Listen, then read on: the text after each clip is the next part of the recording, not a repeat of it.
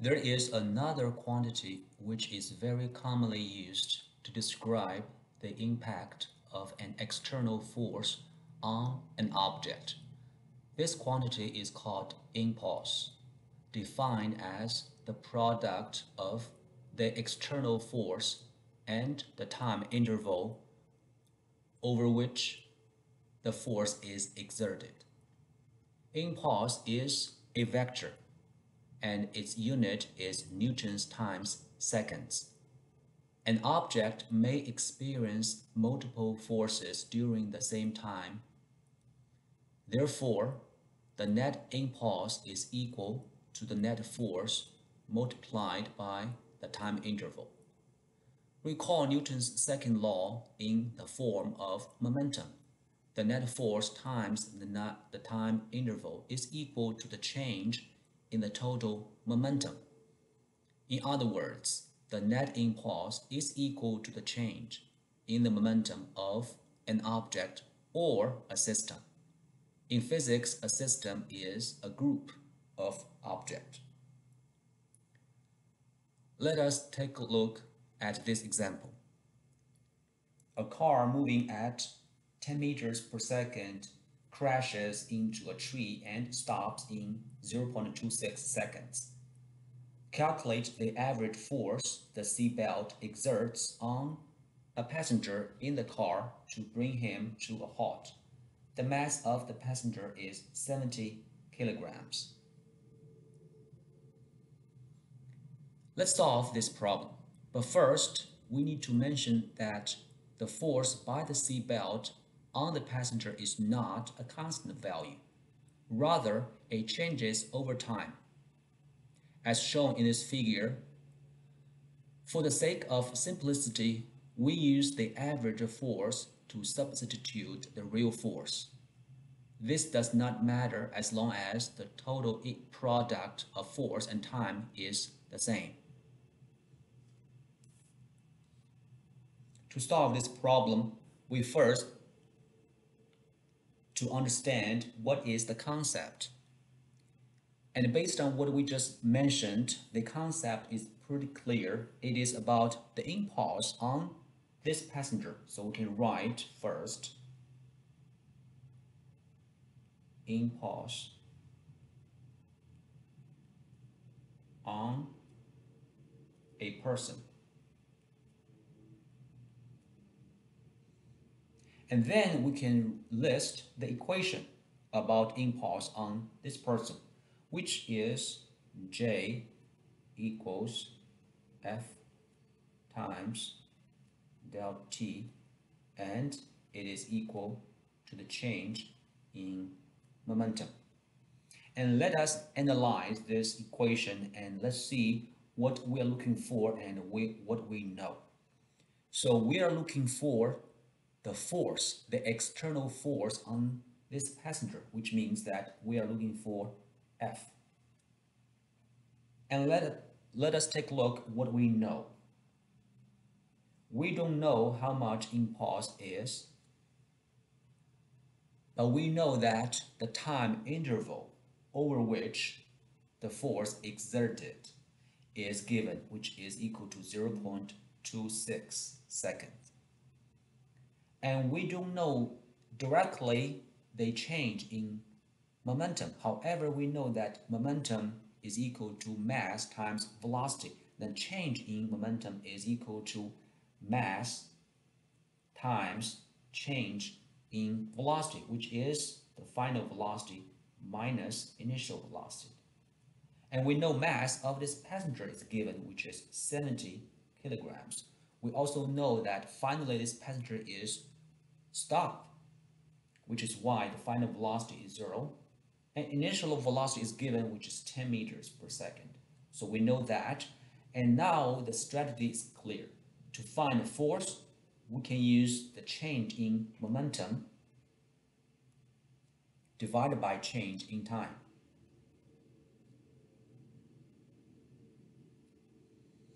And let us plug numbers. So delta P is going to be 70 times 0 minus 10 divided by 0.26.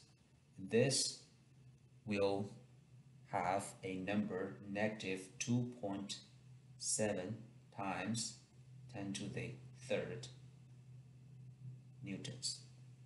I need to mention this that the negative sign refers to the direction of force is opposite to the motion direction. The seat belt exerts a force which is opposite to the motion direction. And also, pay attention to the number. It is 2,700 newtons. It's pretty large force. So that's why um, the force by seatbelt on a passenger is pretty big if the car stops immediately. Let us look at another example. This one says a baseball has a mass of 0.140 kilograms.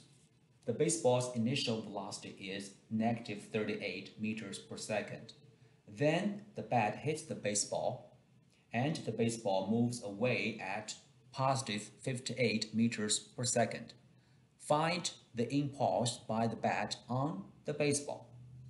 Again, the concept behind this problem is clear, which is about impulse. So we can write impulse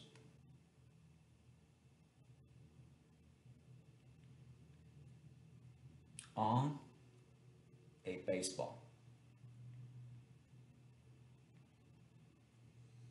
Again, we can write the associated equation, which is again J equals force times time and equals change in momentum.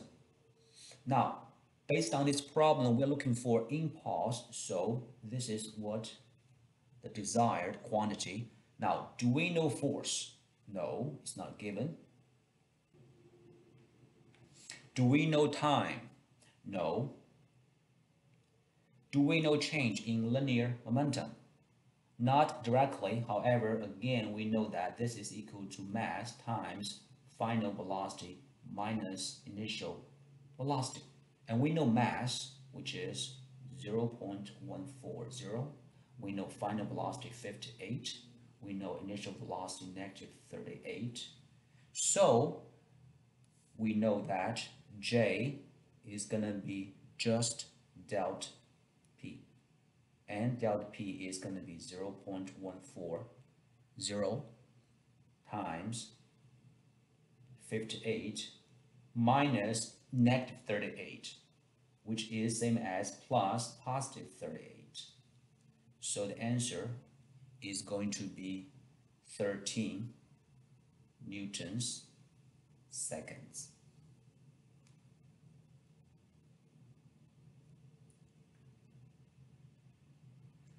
And let's continue the previous example. If the contact time between the bat and the baseball is 1.6 times 10 to the negative third seconds, what is the average force by the bat on the baseball? Again, I wanted to think about the contact between the bat and the baseball. The force actually is not constant. If you remember the figure in the first example, the force starts from zero and goes up very quickly to the top peak and then drops to zero again. So this process is not a constant force. But for the sake of simplicity, we can always use the average force to substitute the real force. And the average force should be somewhere between the peak value and zero. So again, let's find the concept. Well, the concept is going to be the same. Impulse on a baseball. And the equation is J equals F times delta T equals delta P. We are looking for the average force, so this is the desired quantity. Now, do we know J? Actually, yes. We just solved, which is 13 newtons seconds. Do we know time? Yes, it is given 1.6 times 10 to the negative third seconds. Do we know change in momentum? Yes, which is same as impulse, 13. So you can find force by doing either J divided by T or delta P divided by T.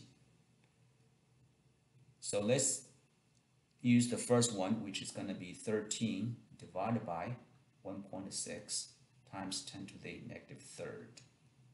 And answer is 8.1 times 10 to the third newtons.